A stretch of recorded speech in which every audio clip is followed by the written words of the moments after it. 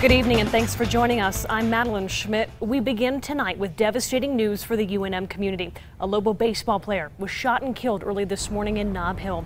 News 13's Elena Mendoza is live on Central near Richmond tonight with what we know. Elena.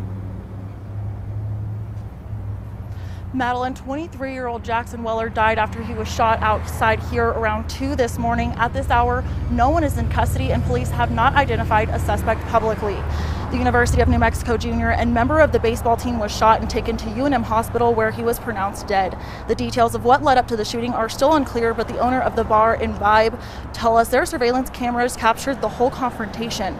Police have released little information at this point. Another business owner just across the street from here says this area needs more police.